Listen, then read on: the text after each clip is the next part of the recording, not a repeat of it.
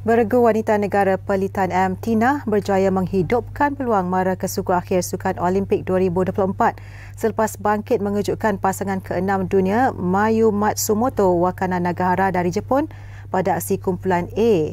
Gandingan di ranking ke-13 dunia itu pamerkan aksi bertenaga dan berjuang hingga akhir untuk mencatat kemenangan 18-21, 21-15 dan 21-16 ke atas juara dunia 2018 dan 2019 itu di Port de la Chapelle Arena.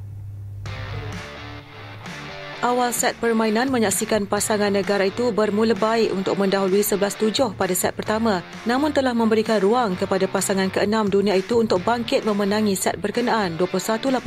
Kemenangan itu bagaimanapun tidak bertahan lama selepas Pelitan M. Tina kembali bangkit dengan lebih agresif untuk mendahului set kedua dari awal untuk meraih kemenangan 21-15 Pelitan M. Tina terus mempamerkan aksi yang konsisten pada set penentuan sekaligus menoktahkan kemenangan 21-16.